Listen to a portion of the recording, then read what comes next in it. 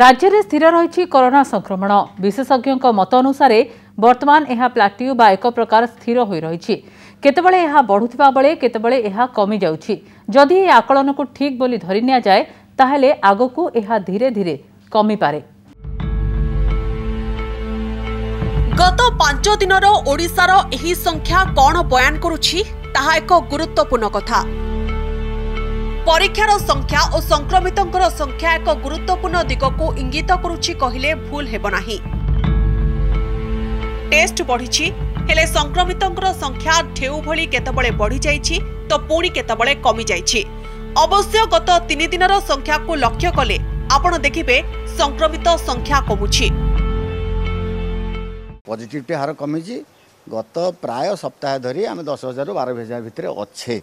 ତାମାନେ ଏକ ପ୍ରକାର ଆମେ ଗୋଟେ ଷ୍ଟେବୁଲ୍ କଣ୍ଡିସନରେ ବର୍ତ୍ତମାନ ପାଇଁ ଅଛେ ଯଦି ଲକଡାଉନ୍ ଠିକ୍ରେ ଲୋକ ମାନିବେ ଏ ଯେଉଁ ଟ୍ରାନ୍ସମିସନ୍ ଚେନ୍ ବ୍ରେକ୍ କରିବା ପାଇଁ ଲୋକ ଯେଉଁ ଆପଣଙ୍କ ଯେଉଁ କୋଭିଡ଼ ଆପ୍ରୋପ୍ରିଏଟ୍ ବିହେଭିଅରରେ ଏକାଠି ହେବେନି ଗହଳି କରିବେନି ଦୂରତା ରକ୍ଷା କରିବେ ମାସ୍କ ପିନ୍ଧିବେ ତାହେଲେ ଚେନ୍ଟା ଭାଙ୍ଗିବ ଇଂରାଜୀରେ ଏହି ପ୍ୟାଟର୍ନକୁ ଫ୍ଲାଟୁ ବୋଲି କୁହାଯାଏ ଅର୍ଥାତ୍ ସଂକ୍ରମଣ ଉପରକୁ ଯାଇ ଆଉ ଉପରକୁ ନ ବଢି ଏକ ପ୍ରକାର ସ୍ଥିର ହୋଇ ରହେ କେତେବେଳେ ବଢିଯାଏ ତ ପୁଣି କେତେବେଳେ କମିଯାଏ କରୋନାର ଏକ ଗୁରୁତ୍ୱପୂର୍ଣ୍ଣ ଲକ୍ଷଣ ହେଉଛି ଏହା ସଂକ୍ରମଣ ବଢାଇ ଏକ ସ୍ତରରେ ସ୍ଥିର ହୋଇଯାଏ ଓ ତାପରେ କମିଯାଏ।